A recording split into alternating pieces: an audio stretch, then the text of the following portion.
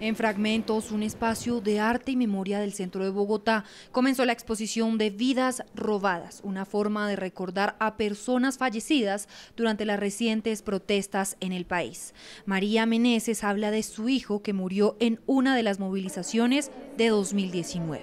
Nuestro hijo Cristian Andrés Hurtado Meneses que fue asesinado vilmente por la policía de Soacha, del del barrio Ciudad Verde en el 9, la noche del 9 de septiembre. También agradece este acto de memoria porque le permite visibilizar la muerte de su hijo para que no quede impune.